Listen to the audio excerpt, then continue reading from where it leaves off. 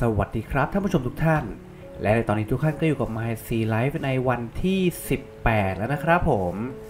ซึ่งถ้าจะให้นับกันจริงๆแล้วเนี่ย MineC Life ในวันนี้ก็เป็น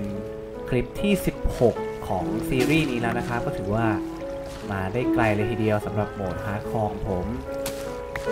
แล้วก็เราก็ผ่านอะไรกันมาหลายๆอย่างมากเลยนะครับสำหรับซีรีส์นี้ ก็มีทั้งประสบการณ์เฉียดตายที่เรียกได้ว่านับครั้งไม่ถ้วนเลยนะครับผม ซึ่งในวันนี้เนี่ยผมมีความคิดใหม่แล้วว่า ผมอะ่ะจะเริ่มออกเดินทางไป ไปหาพื้นที่ใหม่นะครับผม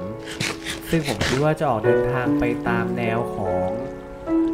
เอ่อไปตามแนวของหมู่บ้านวิลเลจเจอร์นะครับ ว่าข้างหลังหมู่บ้านวิลเลจเจอร์เนี่ยจะมีอะไรอยู่นะครับ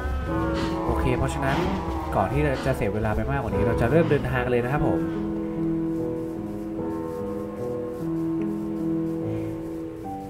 ก่อนอื่นเลยผมจะเดินทางไป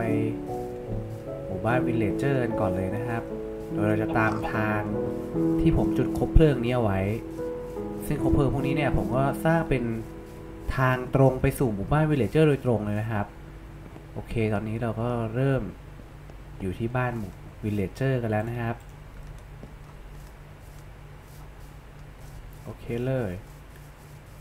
เราก็จะค่อยๆ ปักคบเพลิงไปตามพื้นนะครับ เพื่อง่ายต่อการเดินทางกลับนะครับผมอ๋อที่ผมเพิ่งรู้เลยนะครับว่าไอพื้นที่เอาเขาเรียกว่าอะไรนะ ใช้จอบอะ่ะเอ้ยใช้พลั่วนะครับ ขุดไปทุบไปที่พื้นเนี่ย มันจะเป็นเหลืองๆอย่างเงี้ย มันไม่สามารถปัก เขาเรียกว่าอะไรนะครับ ไม่สามารถปักไอ้คบเพลิงลงเออผมได้เสียงครับ เป็นเสียงน้ำแล้วผมไม่รู้ว่ามันทำอะไรกัน ก็ยังคงใช้ของแลกเยอะเหมือนเดิมครับ ซึ่งไม่รู้ว่าทำไมมันถึง ต้องใช้เอเมอรัลแลกอย่างเดียว แล้วก็แพงมากเลยด้วย โอเค ตอนนี้เรามาถึงส่วนหลังของหมู่บ้านแล้วนะครับ เดี๋ยวผมคิดว่า จะเริ่มเดินไปตามเส้นนี้ก่อนดีกว่า แล้วเราก็จะไปสำรวจที่ภูเขาที่เหมือนรูปทรงเหี่ยวตรงนั้นกันนะครับผม นี่ที่ผมชี้อยู่เลย โอเคเริ่มเดินทางนะครับ ซึ่งถ้าเราไม่มีอะไรผิดพลาดเราจะสามารถกลับถึงบ้านได้ ก่อนที่จะโดนมอนสเตอร์รุมดักตีข้างทางนะครับผม โอเค ดี๋ยวเราสร้างเป็นสะพานน้ำเหมือนเดิมนะครับ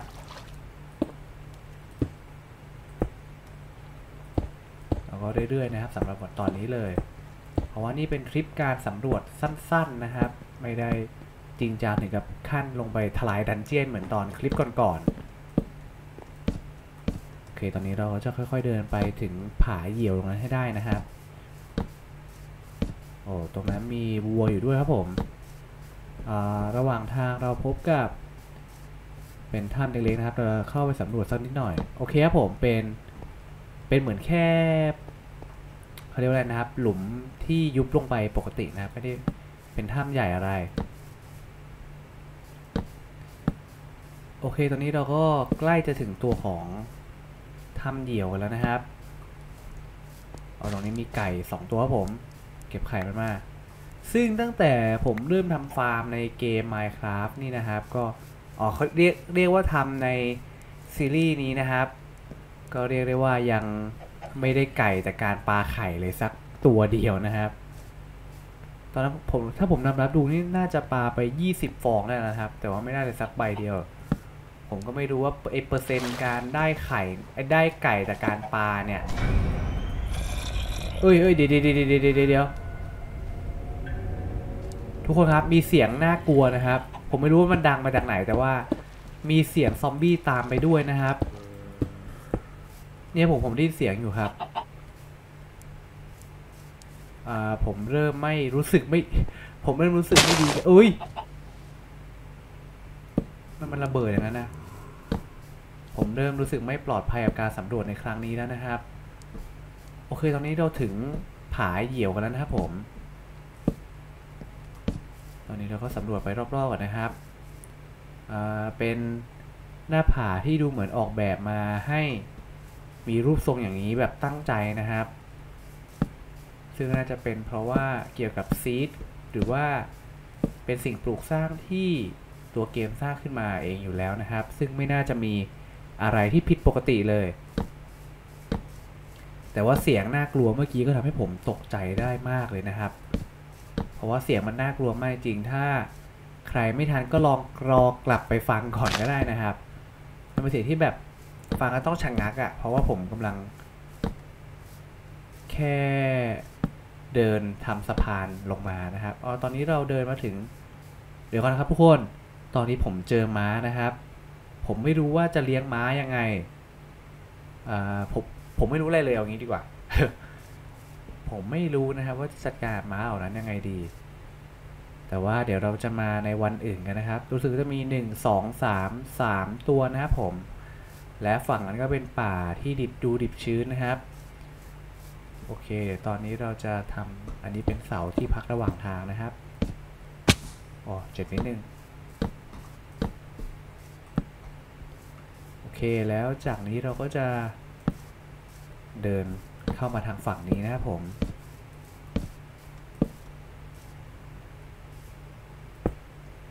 โอเค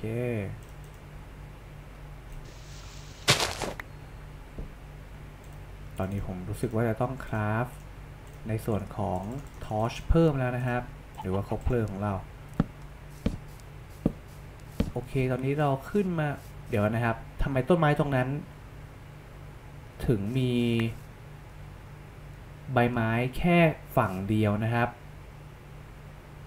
อันนี้ก็เป็นอีกปริศนาหนึ่งของตัวเกมไม่รู้ว่าเกิดจากบั๊กหรืออะไรหรือเปล่า แต่ว่าโดยส่วนมากเกมนี้ก็มีแต่บั๊กอยู่แล้วนะครับ ซึ่งจะทำให้มีสิ่งปลูกสร้างแปลกๆตลอดเลย โอเคผมคิดว่าตรงฝั่งด้านนี้ อุ้ยทางนั้นเป็นด้านของภูเขาหิมะนะครับ ภูเขาหิมะ เดี๋ยวผมจะขอหยุดการเดิน ของวันนี้ไว้ที่ตรงนี้นะครับผม โอเค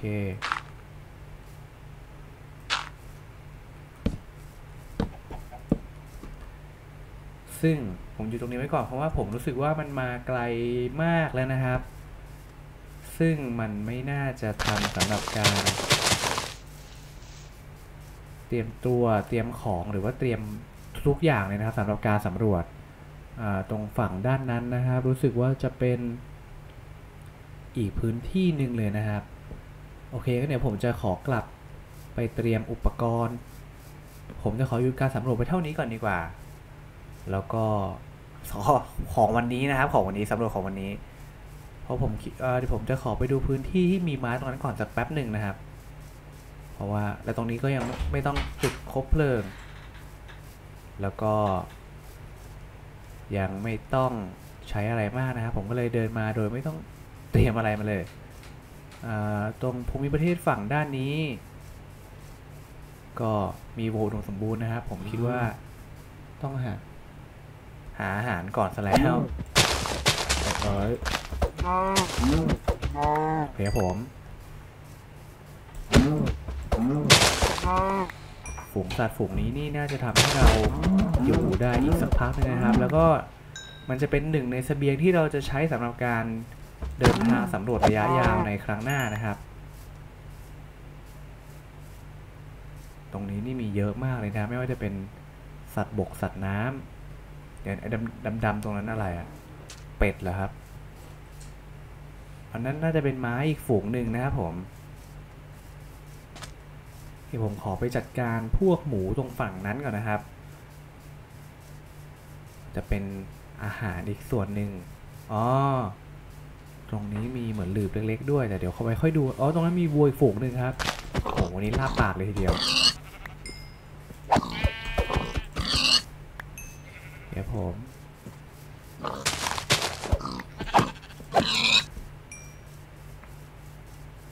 อ่าผม คิดว่าผมจะต้องรีบล่าวัวกลุ่มนี้ให้เสร็จ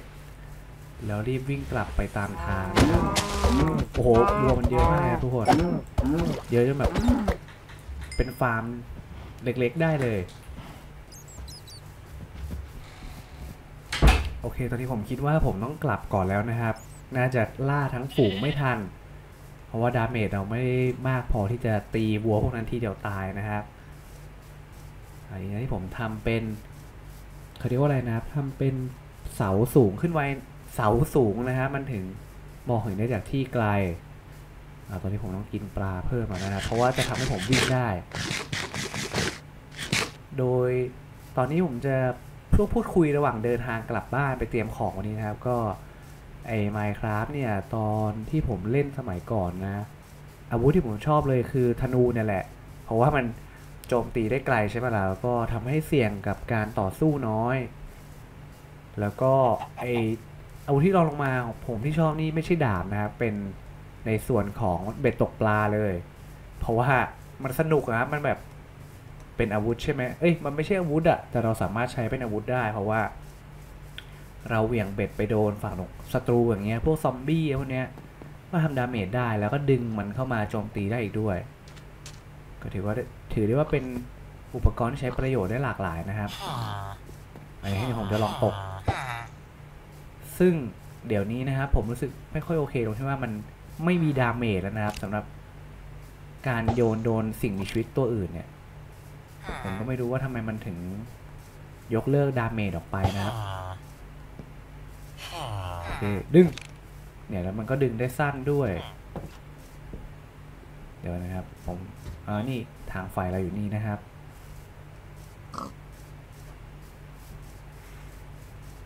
เดี๋ยวเราจะค่อยๆวิ่งกลับบ้านไปนะผมอย่างปลอดภัยเพราะว่าเราทำทางไฟไว้เรียบร้อยแล้ว ซึ่งในเรอ่าตรงนั้นมีแมงมุมนะครับ ซึ่งระหว่างทางที่เรากลับเนี่ย ผมมีสิ่งที่ต้องระวังอย่างเดียวเลยก็คือเออเอ้ยคริปเปอร์ตัวนี้นี่เมื่อวานตอนที่เราเดินกลับทางนี้ก็เจอนะครับ แต่แต่ว่าไม่น่าใช่ตัวเดียวกันนะ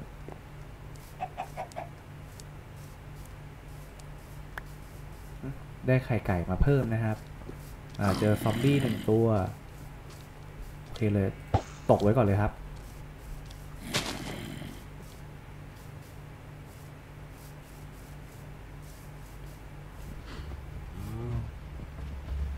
ยังอยู่นู่นนะก็ยังคงตามผมมาอยู่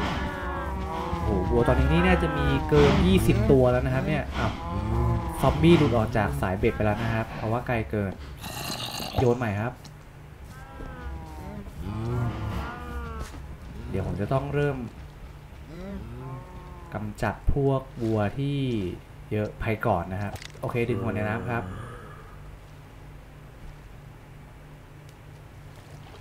แล้วก็ผมจะล่าให้มันมาตกที่หลุมนี้เหมือนเดิม แล้วเราก็จะได้สร้างซอมบี้ตกน้ำเพิ่มนะครับ โอเค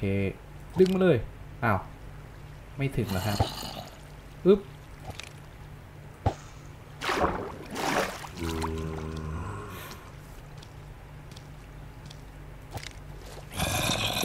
เฮ้ย มันไม่ลงไปในหลุมนะครับ อ่า ได้แล้วครับผม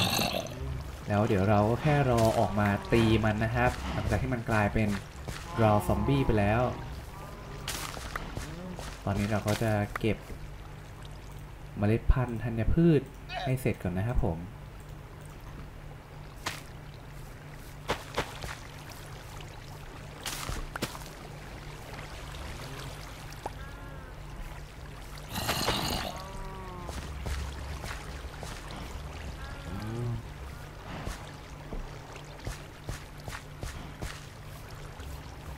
เราก็จะมาสองวัวเพิ่มอีกตัวหนึ่งนะอีกคู่หนึ่งนะครับเดี๋ยวผมจะมาคราฟเล้าอ่ากลายเป็นซอมบี้ตกน้ำนะครับ ต้องลงไปจะกำจัดมันก่อนเลย ซึ่งหลังจากที่ผมเจอไอตัวอะควาแมนอะอะควาแมนจากพาร์ทนู้นเลยนะครับ ที่มันปาไทเดนจิ๊กจิ๊กจิ๊กจิ๊กจิ๊กจิ๊กใส่หน้าบ้านเนี่ยผมก็ยังไม่เจอในส่วนของดาวซอมบี้ตัวอื่นที่มีไทเดนเลยนะครับผม เพราะว่าตัวอื่นที่ผมเจอเนี่ยก็ส่วนมากก็มาจากที่ผมสร้างขึ้นมาเองนะครับ แต่ว่ามีตัวอื่นที่มันเดินตามมาจากฝ้าฝั่งนั้นนะครับเนี่ยที่ผมวงๆอยู่เนี่ยแล้วมันก็ตามมาแล้วก็ตกน้ำแล้วก็กลายเป็นเราซอมบี้ไปเองที่ตอนนี้ผมจะต้องเคลียร์เนื้อที่ผมได้มาก่อนนะครับ โอ้เหล็กเราได้มาเยอะมากเลย ตอนนี้ผมคิดว่าจะคราฟกางเกงใหม่นะ เพราะว่าเรามีเหล็ก อยู่ในปริมาณที่พอ ที่จะมาเปลี่ยนอะไรพวกนี้ได้อย่างไม่ต้องคิดมากแล้วนะครับเรียกได้ว่าตอนนี้เรามีเหล็กทั้งหมด เออเขาเรียกว่าอะไรเดียมีเหล็กไว้หนึ่งชุดแล้ว แล้วก็หมอหนังเก็บก่อนนะครับ แล้วก็เนื้อซอมบี้ ปลานี้ที่ผมไม่แน่ใจว่า อ๋อ น่า น่าจะต้องปิ้งต่อนะครับ ดี๋ยวผมสร้างรั้วเพิ่มก่อนดีกว่า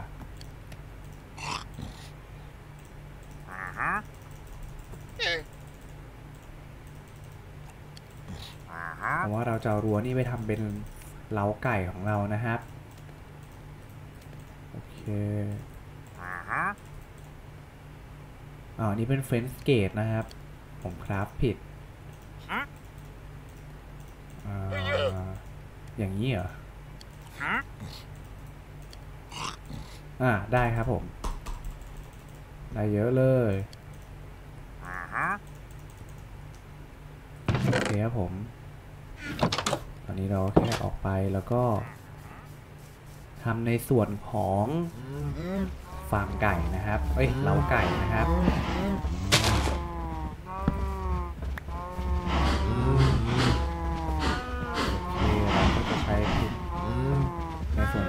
วัวด้วยเลย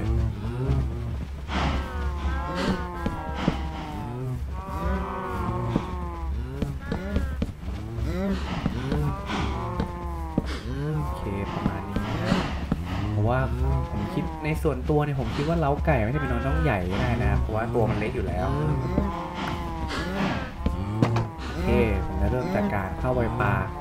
ไข่ไก่ก่อนเลยนะครับ โอ้ยได้ไก่ตัวแรกของเราแล้วนะครับ ดูหน้าที่น่ารักของมันอ้าวไปไหนแล้วอะอุ้ย มันเดินหนีมาจากเราอะนี่เราไม่รู้ว่าจะต้องทำยังไงแล้วนะครับ มันเดินหนีมาโอเคปาต่อครับ โอเคครับผมอ่าไม่ได้อะไรเลยนะครับ แต่ก็มีไก่ตัวหนึ่งนี่นะครับผมอ่ามี creeper อยู่ตัวหนึ่งบนสะพานหิน ที่เราสร้างเชื่อมกับฝั่งตรงข้ามนะครับ แล้วก็มีซอมบี้ แล้วก็มีอาเช่อ่าตอนนี้มีไอ้นี่บนหัวแล้วครับมีตัวเดียวนะครับผม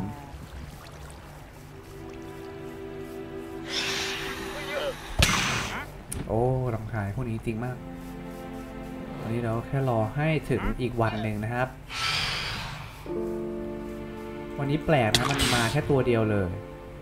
ปกติจะมาแบบ3-4ตัวเป็นฝูงเลยนะครับ ซึ่งเยอะมากต่อการกำจัดนะครับผม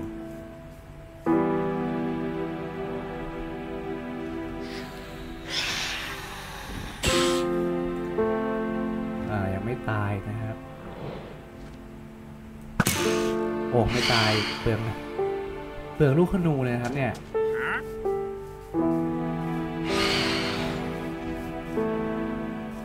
ดงว่าไอ้นี่ไงมันอยู่นี่นะครับไอ้เจ้าบราวน์ไดนี่น่าจะเป็นสีย้อม สีน้ำตาลนะครับ แล้วก็นี่ผมอยากรู้ว่าไอ้ bucket of tropical fish เนี่ยมันคืออะไรนะครับ มันคือถังน้ำอะที่มีปลาอยู่ข้างในผมไม่รู้ว่ามันทำยังไงกัน ผมจะเก็บไม้ก่อนดีกว่านะครับ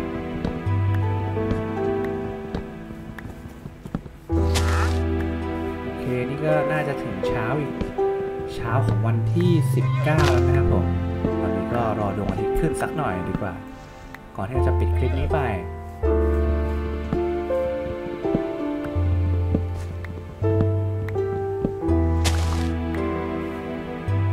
แล้วก็เมื่อกี้ก็อาจจะมีในส่วนของตัวคลิปที่อาจจะมีการภาพกระตุกนิดหน่อยนะ เพราะว่า ตอนอัดตอนที่อัดอยู่เมื่อกี้เนี่ยผมเผลอกดหยุดอัดนะครับ แล้วก็อัดต่อ มันเลยอาจจะทำให้คลิปดูสะดุดสะดุดนะครับผม ก็ต้องขออภัยไว้ ณ ที่นี้ก่อนเลย อ๋อตอนนี้เราได้ potato เอออันนี้แครอทแคแคแครอทใช่ไหมครับน่าจะแครอทนะผมเราได้แครอทที่โตเต็มวัยแล้วแล้วก็ถึงเช้าวันใหม่ของเรานะครับผม กับไก่ที่หายไป หายไปแล้วครับ หายไปจริง มีเอ็นด้วยไหมอย่างนู้นนะครับ ผมจะลองสู้มันดู อุ้ย เอามาดิครับ ผมเจอพวกผมล่างลงน้ำอ่าฮ่าฮ่าฮ่ามันสู้ผมไม่ได้หรอกนะครับ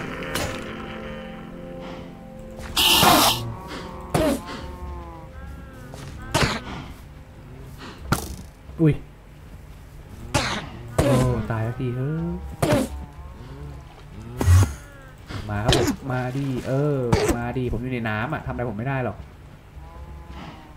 รอแค่มันวาร์ปมาอีกทีหนึ่งครับ โอเคยิงปุ๊บอุ้ย มันวาร์ปหลบกระสุนผมนะครับ